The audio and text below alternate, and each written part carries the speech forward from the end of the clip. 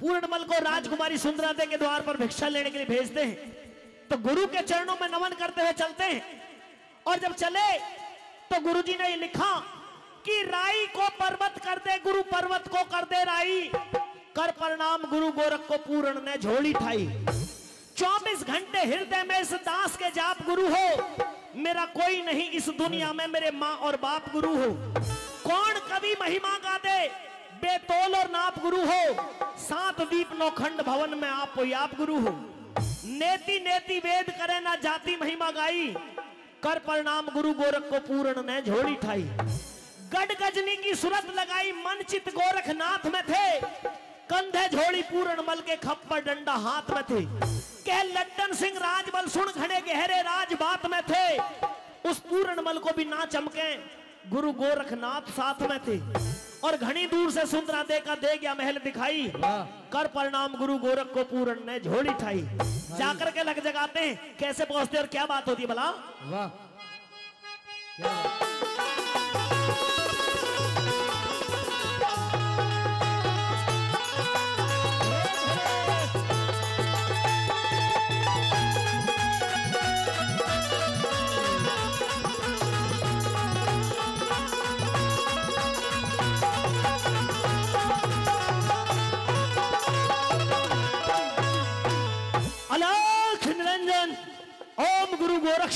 नमः।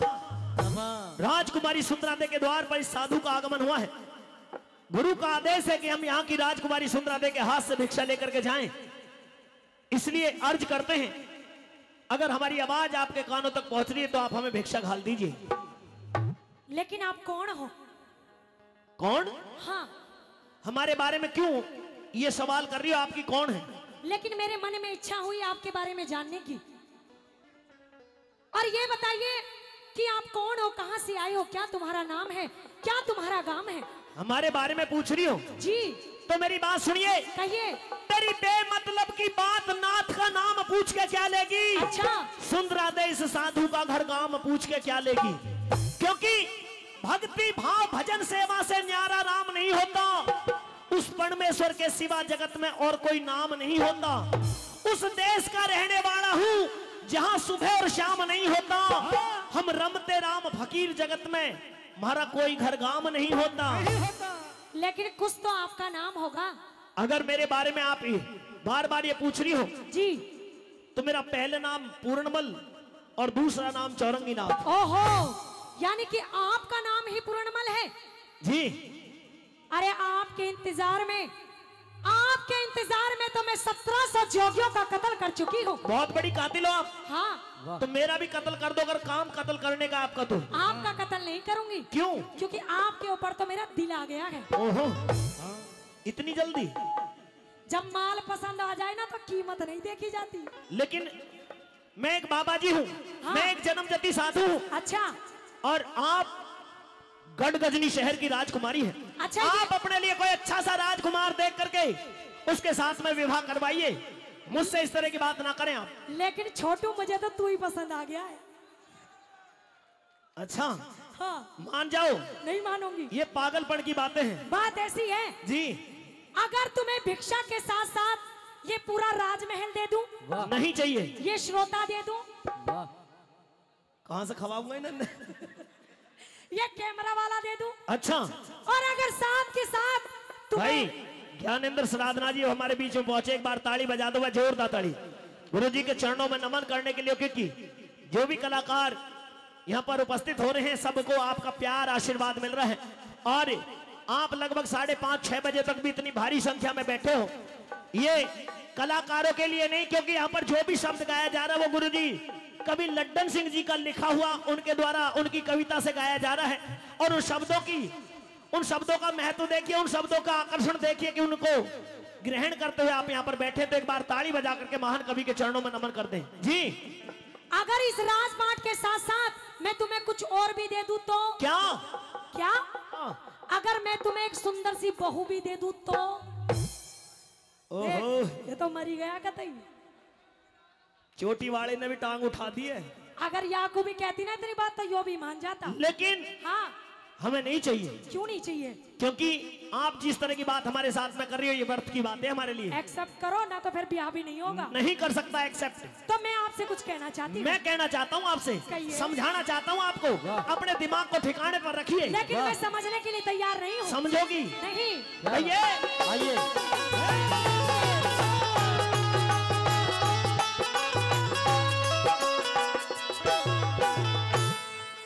मुझे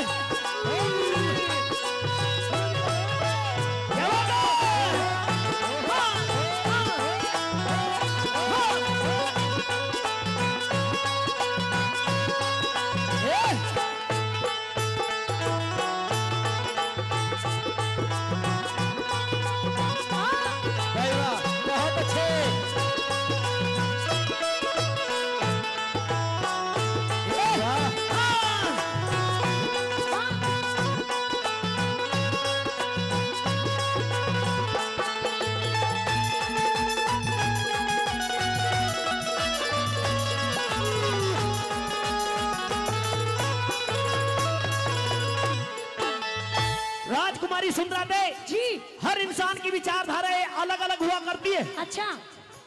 अभी आपने कहा कि करके तपस्या उद्यालक मुनि घलियाबीर के गढ़ में। में हाँ। उद्यालक मुनि ने अगर घरवासा कर लिया तो इसका मतलब ये नहीं कि मैं भी घरवासा करूँगा। इधर आओ। जो भी आदमी शादी करता है ना वो ज़िंदगी में खुशी रहता है। कोई खुश ना रहे। यकीन ना है तो पूछ लो। पूछ लेता हूँ। सामने जहा- जो क्योंकि जहारवीर गोगा जी महाराज का गुरु गोरखनाथ महाराज का स्थान बना हुआ झूठ मत बोल देना कोई भी। ईमानदारी से ब्याह होने के बाद में शादी होने के बाद में जिनकी पत्नी उनके सुबह उठते ही चरण छूती है पूरे दिन कहीं भी कोई लड़ाई का मतलब नहीं। शाम को सोते समय हाथ पैर दबाती हैं उनकी सेवा करती हैं। ईमानदारी से वो एक बार हाथ उठाना। कैसे भाई नावला वालों एक भी बहु सेवा ना करे तुम्हारी? भाई कमाल की बात है ये तो। इतनी पब्लिक होने के बाद में एक भी आदमी ऐसा नहीं है जिसे शादी होने के बाद में सुख मिला हो। लेकिन महाराज अगर मैं आपसे शादी करूँगी ना तो आपके ज़िंदगी भर चरण ही पकड़ के रहूँगी। या या मत पकड़ा ही टूटी हुई है।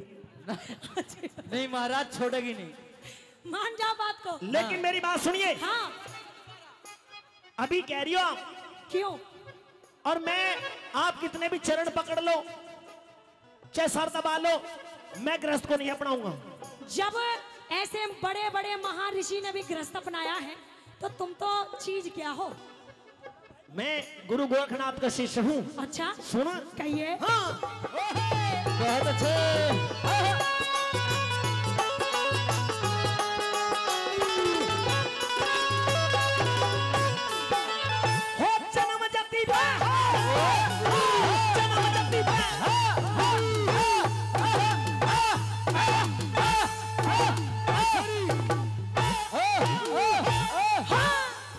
महाराज हवा के चक्कर में आगे दिखो। ये भी ये भी मुझे ऐसा लगा पिछले जन्म की राजकुमारी सुंदरा दे खड़ी दिखे बैठ जाओ कैसा करोगे? बैठो ना हो ना मज़े लेन दो इन्हें खड़े हो गए। ये सुंदरा दे के सेवादार है सब। सुन ले। क्या दे?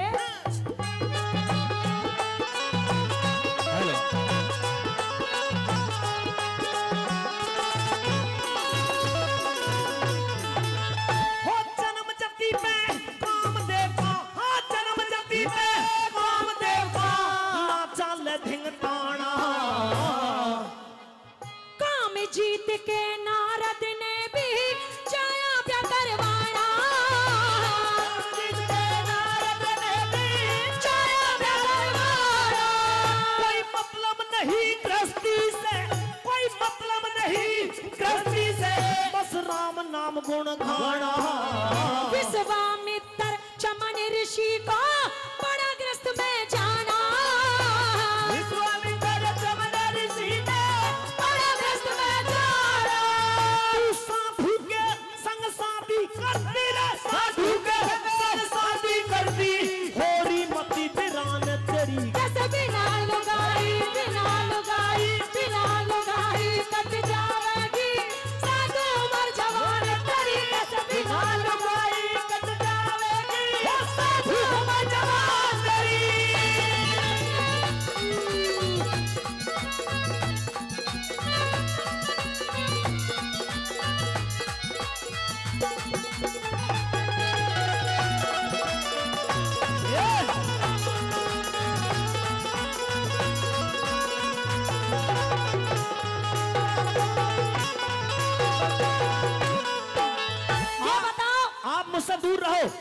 ले ले ले ले ले ले ले राजकुमारी जी। पता क्या करेगा? हाँ ये तो इमोशनल अत्याचार कर रही हो आप। अब इतनी प्यार से समझा लिया जब तुम मानने के लिए तैयार नहीं हो। मेरी बात सुनिए। हाँ। आप मेरे जोक को भंग करने की कोशिश कर रही हैं। यही तो मैं, कह, मैं कह रहा हूँ आपसे दूरी बना करके रखें। अब कोरोना काल नहीं चल रहा जो दो गज की दूरी बनाऊँ। अब तो सट के खड़ी होंगी ऐसे। मेरे लिए तो हमेशा कोरोना काल ही रहेगा क्योंकि मैं तो औरतों से दूर ही रहता हूँ। अच्छा ये बताओ जी। औरतों में ऐसे क्या कमी है जो तुम औरतों से दूर जा रहे हो? कमी कोई नहीं। सृष्टि की जननी है। सम्मान भी पूरा करता हूँ लेकिन मैं गृहस्थ को नहीं अपनाऊँगा। इस तरह से मेरे जोबन पे अत्याचार हो रहा है। हाँ मार महाराज मार दो बबूती हाँ। देख जल का छीका भी। हाँ। प्रवेश करने के लिए तैयार हैं। ये गृहस्थ में प्रवेश करना चाहते हैं। गृहस्थ में प्रवेश आप करो। हाँ सुन मेरी बात क्या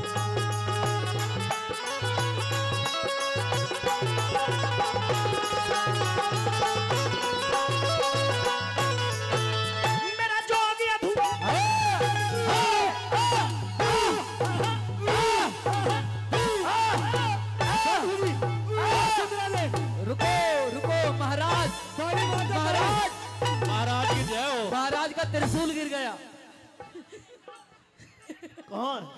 कमंडल भी छूट गो। महाराज इन बातों में रहोगे तो सब कुछ बिखर जाएगा ना। यो भी पुराना थोड़ा कलयुग इतना थोड़ा जोश बचा के रखो शादी के बाद काम आएगा। शादी करनी ही नहीं है। मुझे तो करनी है। मेरा जोगी अधूरा हो। मेरा जोगी अधूरा भंग हो जा। मेरा जो भी अधूरा रे भंग हो जा। हेलो। जोग अधूरा ही रखवाएगा तू। प्रभु ये क्या हो रहा है? मेरा जोगी अधूरा भंग हो जा। मेरा जोगी अधूरा भंग हो जा। मत सुंदरा हाथ लगाना। मेरे साथ शादी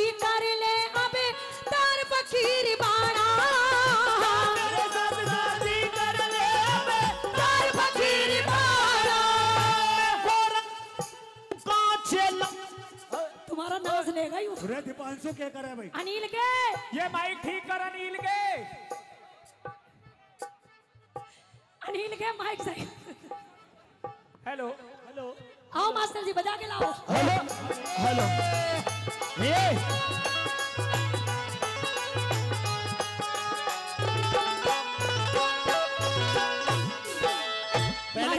पहले कहे कर रहे रतन के हम कह रहे हो अनिल के। महाराज तुम्हारा मौसम खराब हो चुका है। नहीं मेरा मौसम खराब नहीं हुआ माइक खराब हुआ था। अपन क्या के आओ दोबारा से? कोई बात नहीं फिर से आ जाते हैं। चलिए।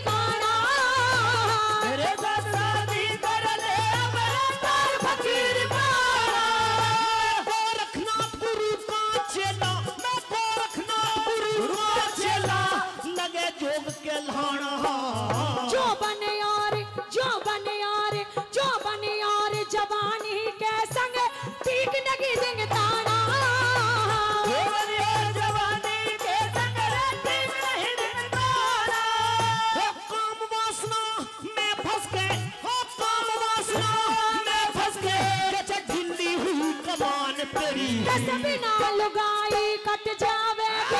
साधु। जवान तेरी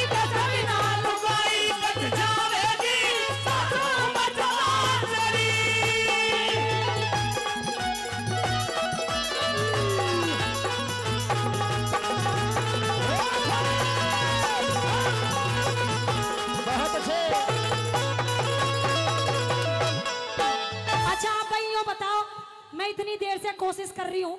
हम दोनों की जोड़ी सही लग रही है तो एक बार ताली बजा के बताओ। ले मुँह दिखाई भी आ गई ले ले। अब से तो, न उठ अब तो हाँ कर ले। नहीं। जब से मैंने आपको देखा है ना। उधर लिखवा दो कोई बात नहीं। ना मैं तुम हाँ बताओ मैं इससे बात करूँ कि क्या करूँ? हाँ जिन्होंने भी सम्मान दिया भाई तहे दिल से स्वागत सम्मान। हमारे आदरणीय अंकल जी। जी क्या कह रही थी? जब से मैंने आपको देखा है ना मेरा दिल आपके ऊपर आ गया है। अच्छा। और मैं आपको हृदय से अपना पति मान चुकी हूँ। ओहो। हाँ। मेरी बिना सलाह के पति भी मान लिया। पति क्या आप तो तुम स्वामी जी प्राणनाथ जो कुछ भी हो बस तुम ही। हो मेरी बात सुनिए। कहिए। गुरु जी ने एक बात समझाई हमें कि इंसान के शरीर के अंदर दस इंद्री होती है। पाँच कर्म इंद्री और पाँच ज्ञान इंद्री हाँ। दसों इंद्रियों के ऊपर इंसान का मन होता है। हाँ। मन से ऊपर फिर बुद्धि होती है और बुद्धि से ऊपर परमात्मा होता है। हाँ। ये शरीर जो चलता मन से चलता है। जिसने मन पे काबू पा लिया संसार के सारे आनंद जो भी मिलते हैं मन से मिलते हैं। इसलिए राजकुमारी सुमरादे आप भी अपने मन को काबू में कर लो। मेरा मन पे काबू तो आप पा चुके हो। नहीं हाँ। ये तो सब व्यर्थ के आनंद हैं। असली आनंद बताऊँ? ये तुम हाँ कर लो शादी के लिए। ना। हट जाओ नहीं तो देख लो फिर।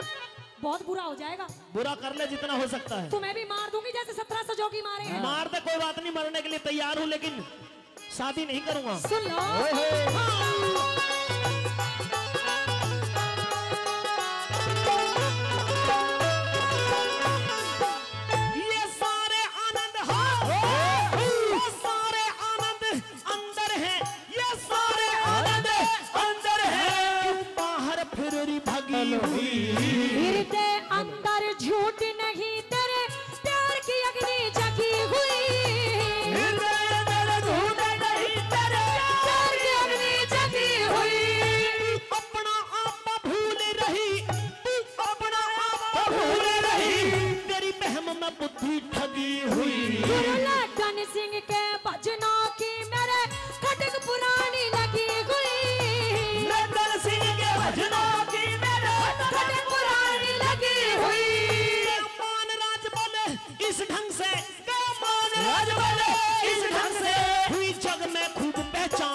पहचान तेरी